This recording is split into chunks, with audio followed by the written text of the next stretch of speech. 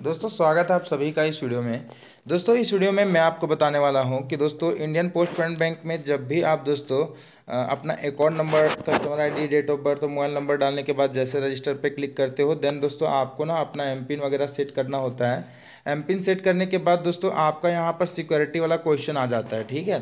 तो इसको दोस्तों आपको आंसर कैसे करना है? अगर आप दोस्तों यहाँ पर सिंपल है दोस्तों, ये बहुत ही सिंपल चीज़ है। आपसे ये ना क्वेश्चन पूछ रहा है कि what is the place of your birth मतलब आपका जन्म कहाँ हुआ था? तो आप किसी कोई भी आंसर आप दे सकते हो, लेकिन ये है कि आपका सभी आंसर सिमिलर नहीं होना चाहिए, एक जैसा नहीं होना चाहिए। ठीक है? मान लीजिए मेरा जन्म मेरा डिस्ट्रिक्ट में हुआ तो मैं लिख दूँगा यहाँ पर डिस्ट्रिक्ट। आप इस तरह कुछ भी लिख सकते हो, अपना डिस्ट्रिक्ट का नाम लिख लेना है।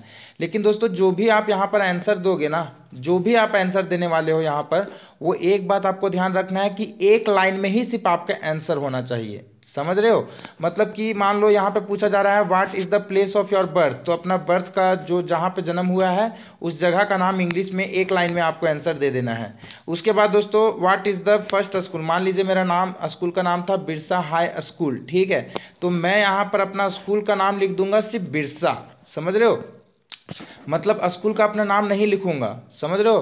पूरा स्कूल का नाम नहीं लिख लेना है। एक लाइन में ही आपको आंसर देना है। जस्ट आपको लिख देना है B I R S A कुछ भी आप अपना टाइप करके लिख सकते हैं। बाकी what is name of your favourite friend अपना फेवरेट फ्रेंड का मान लीजिए कि मेरा फेवरेट फ्रेंड का नाम है ए बी सी कुमार ठीक है? तो मैं यहाँ पर जस्ट आंसर में लिख दूँगा ए बी सी ठीक है? फेवरेट फ्रेंड नेम में ठीक है दोस्तों? उसके बाद दोस्तों फेवरेट टीचर का नाम यहाँ पर है तो फेवरेट टीचर का नाम जो है वो आ, कुछ भी आप अपना आंसर दे सकते हो। यहाँ पे डाल करके सारा क्वेश्चन एक करके आंसर आपको दे करके डायरेक्टली दोस्तों आपको जस्ट सबमिट के ऑप्शन पर क्लिक कर देना है।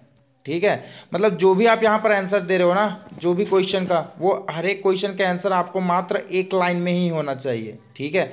स्पेस वगैरह का यूज़ नहीं करना है। एक लाइन में ही आंसर होना चाहिए और कोई भी क्वेश्चन का आंसर सिमिलर नहीं होना चाहिए, एक जैसा आंसर नहीं होना चाहिए। समझ रहे हो? उसके बाद दोस्तों, आपको ना सबमिट के ऑप्शन पर नीचे क्लिक कर देना होता है। सारा क्वेश्चन का आंसर टाइप करके सबमिट के ऑप्शन पर क्लिक कर दो, ठीक है दोस्तों?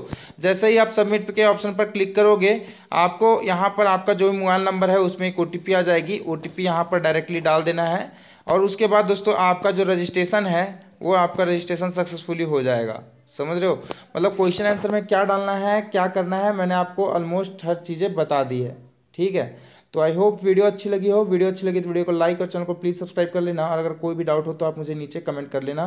अगर फिर भी कोई दिक्कत आ रही है तो ज़रूर से ज़रूर आप कमेंट करना। मैं आपके हर एक कमेंट का रिप्लाई करने का प्रयास करूँगा। थैंक यू दोस्तों। Thanks for watching the video